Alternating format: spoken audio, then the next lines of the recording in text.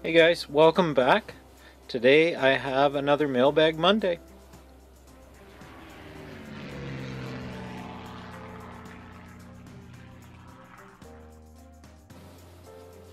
Hey guys, welcome back. Glad you could join me today. For those of you new to the channel, my name is Eric. Today I have some packages that arrived, and I have uh, no idea what's in, well, two out of the three. One I received a long time ago, but I didn't actually do an unboxing, and I thought I should share it. So we'll go ahead and get started. We'll go ahead and get started with the one that uh, is out of the box. This one isn't for the Arduino projects, this one is for my flight simulator. It's care of Ron Rollo and Eric Tomlin out of Florida. You can find them on hangar45.net. This is a flight guidance computer for the Learjet 45, something that has never been available before in a reproduction model. So I haven't actually had this part open yet. Let's just take a look and see what we get. Uh, it's one of the big pieces, well, it's, in my opinion, the biggest piece that's been missing for uh, all of us that are building Learjet 45s uh, at home. We could never have a scale flight guidance computer before. They, Ron and Eric, have fixed that for us. So in this beautifully wrapped package, we have a gunship gray backer panel and a circuit board setup that just looks amazing. This is uh, really nicely done. Pretty impressed. Uh, Project 45, so you can also find them online at Project 45. Uh, there'll be a link off of the hangar45.net. I won't open this. This is all the surface mount uh, components as well as the push buttons for the guidance computer as well as some daughter boards and connectors all in one kit. Just beautiful. I was lucky enough to supply them with the knobs for these kits. Uh, they're uh, pretty labor intensive, if not darn near uh, pretty tricky to do uh, on a CNC, so I was able to 3D print the knobs and uh, hopefully help them out a little bit. And this is the face panel. This is what the real Learjet 45 face panel looks like. This is backlit uh, with uh, surface mount resistors. Uh, pretty cool little rig. Someday I will get this assembled and show it to you in my Learjet cockpit.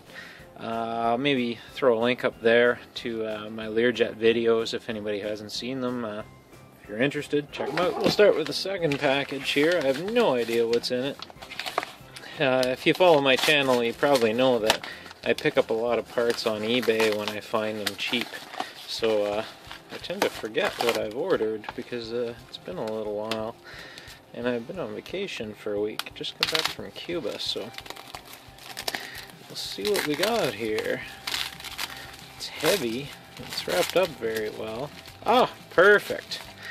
These are the connectors I need for, well, I only need one for making my shortwave long wire antenna that I'm running up to my attic with my spare coax cable. So uh, one of these I'll be uh, I have a whole roll of Cat5 Ethernet cable and uh, just because I have it that's what I'm going to use and I'll hook onto here and run the wire around my attic and uh, I'm not sure the length just yet. I'm going to have a look at that and probably do it a little bit by the numbers stairs and hook up to my software defined radios. Uh, and that'll be the extent of the remainder of my one piece of uh, extra coax. So I'll have three antennas in the attic. My Discone style Comet antenna, the uh, the QFH antenna for the NOAA weather sats. If you haven't seen those videos, I'll throw a link up there. And uh, then I'll have the long wire antenna for the ham it up up converter or plugging, uh, I can hook it right into my shortwave radio, but I really don't use it anymore now that I have SDR, so pretty cool.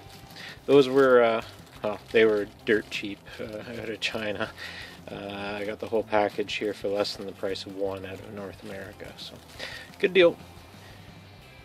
This is the last package I have. I think I know what might be in here, but I'm not entirely sure, just because it had my phone number on the package, and I think I've only given that out to one source. But we'll, uh, well, we'll soon find out. Let's have a look.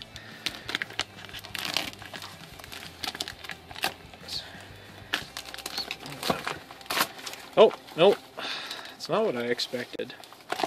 Not what I expected at all. These are two new software-defined radios. These are the DVB-T uh, TerraTec units. Uh, they're the R820T, I think, chipset, if I remember right. That's what I ordered because I, I, tend to favor those. Uh, these were, I believe, $10.49 uh, Canadian, or was that US? Might have been US. A little, a little bit more in Canadian.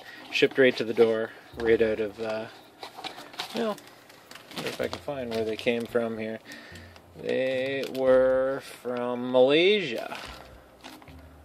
But, yep, from Malaysia. So, they're exactly the style that I favor.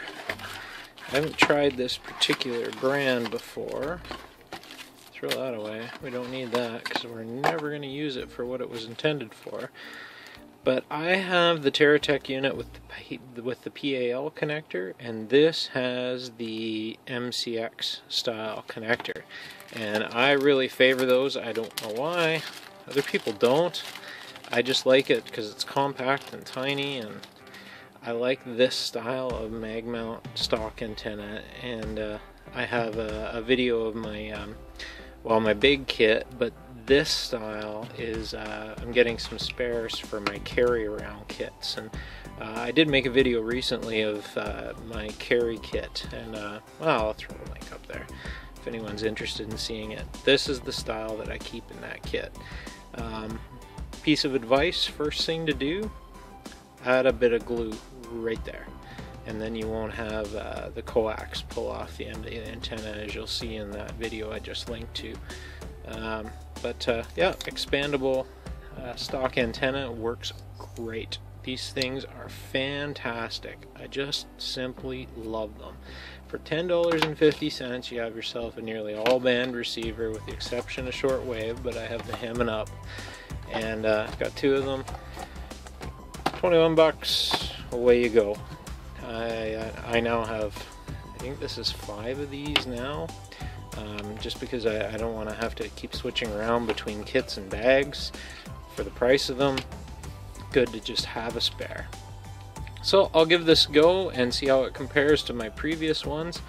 It's got some uh, cooling holes there.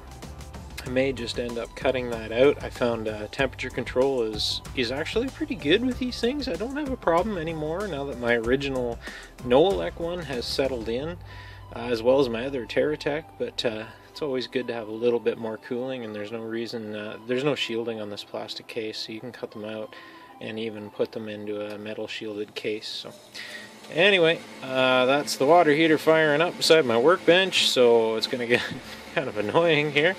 That's the end of our Mailbag Monday. I'm glad you could join me today. Good luck in all your electronics ventures and uh, check out these uh, software defined radios for the price of them. Thanks for watching.